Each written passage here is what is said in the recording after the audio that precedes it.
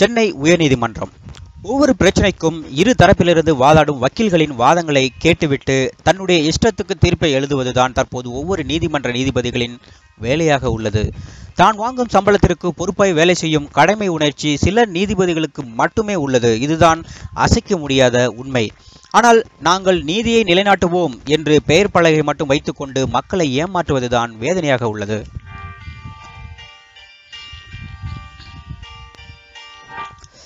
இதனால்தான் நீதி தேவதையின் கண்கள் இன்று வரை கட்டப்பட்ட நிலையிலே உள்ளது. நீதிபதிகள் தங்களுடைய கடமைகளை நேர்மையாக செய்திருந்தால் நாட்டில் குற்றங்களும் லஞ்ச லாவண்யங்களும் பெண்களுக்கு எதிரான பாலியல் வன்கொடுமைகளும் உடனே குறைந்து நம் தேசம் சொர்க்க பூமியாக மாறியிருக்கும். ஆனால் நீதிமன்றங்கள் இதையெல்லாம் செய்யாமல் அரசியல்வாதிகளுக்கும் அரசு அதிகாரிகளுக்கும் சாதகமாக செயல்பட்டு வருவது மிகவும் வேதனைக்குரிய விஷயமாகும். இதுதான் இன்றைய மக்களின் துயரமாக உள்ளது. இதற்கு நாட்டில் நடந்த பல உண்மைகளை உதாரணமாக கூறலாம்.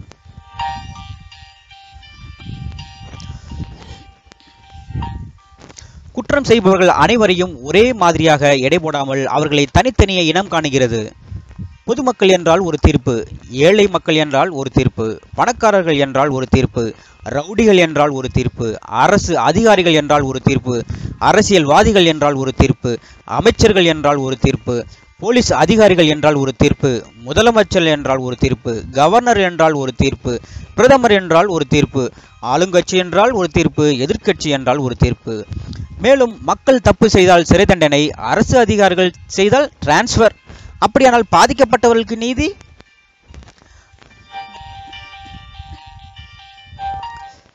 அப்படியானால் மக்களுக்கும் அரசு அதிகாரிகளைப் போல டிரான்ஸ்ஃபர் கொடுங்களேன். நாங்களும் குற்றம் செய்துவிட்டு வேறு மாவட்டத்திற்கு போய்விடுகிறோம். இதுதான் நீதிமன்றங்கள் மக்களுக்கு செய்யும் வெளிப்படையான ஃபோர்ஜரி இப்படி செய்தால் நாட்டில் குற்றங்கள் எப்படி குறையும்? மேலும் குற்றம் செய்பவர்கள் எப்படி பயப்படுவார்கள்?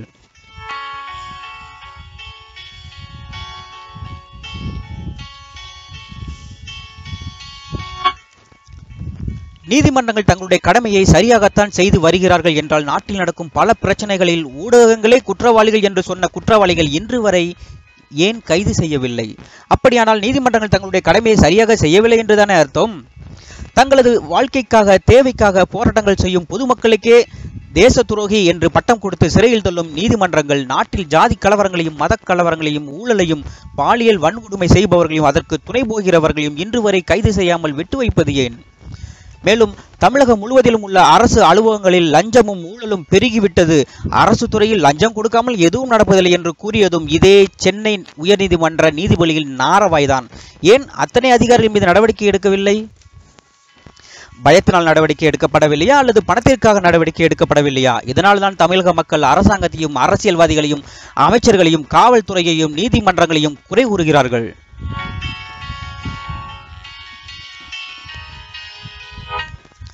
நாடு நாசமாய் போவதற்கு நான்கே பேர் தான் முக்கிய காரணமாக இருக்கின்றனர். ஒன்று அரசியல்வாதி இரண்டாவது அரசு அதிகாரிகள் மூன்றாவது காவல்துறை நான்காவது நீதிமன்றங்கள். இவர்கள் அனைவரும் நேர்மையாக தங்களுடைய வேலையை செய்ய வேண்டும். அப்படி இல்லை என்றால் இவர்கள் இருக்கும் இடத்தில் புதிதாக நல்லவர்கள் வந்தால் மட்டுமே நாடும் நாட்டு மக்களும் நலம் பெறுவார்கள்.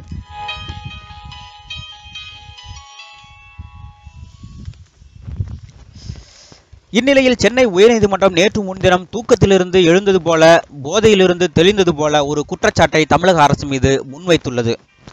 டாஸ்மாக் பாவங்கள் தான் அந்த குற்றச்சாட்டு. அதாவது மது போதையில் நடக்கும் குற்றங்களுக்கு மாநில அரசே ஏன் பொறுப்பாக கூடாது என தமிழக அரசுக்கு உயர்நீதிமன்றம் கேள்வி எழுப்பியுள்ளது. இது குறித்து ஏப்ரல் நாலாம் தேதிக்குள் தமிழக அரசு பதிலளிக்குமாறு உயர்நீதிமன்றம் உத்தரவிட்டுள்ளது. மேலும் தமிழக பொருளாதாரத்தில் ஐந்தில் ஒரு பங்கு வருமானம் மது விற்பனையால் கிடைப்பது துரதிருஷ்டவசமானது என நீதிபதிகள் வேதனை தெரிவித்துள்ளனர்.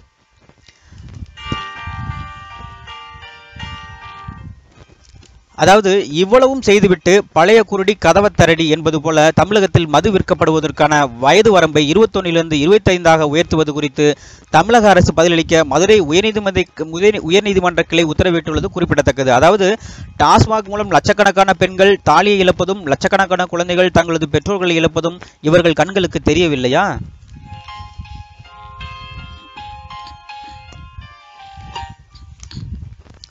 இதன் மூலம் நமக்கு ஒரு விஷயம் நன்றாக புரிகிறது. அதாவது டாஸ்மாகை முழுவதும் மூடிவிட்டு உடனடியாக மதுவிலக்கை அமல்படுத்துங்கள் என்று சொல்லாமல் வயதை கூட்டு என்பதும் என்னுடைய கேள்விக்கு பதில் சொல்லு என்று சொல்வதும் ஊழல் பெருகிவிட்டது என்று சொல்வதும் லஞ்சம் பெருகிவிட்டது என்று சொல்வதும் டிரான்ஸ்ஃபர் கொடுத்ததும் சமூக அநீதிகளை வேடிக்கை மட்டுமே பார்த்து கொண்டிருந்தால் எந்த விதத்தில் நியாயம் என்று தெரியவில்லை.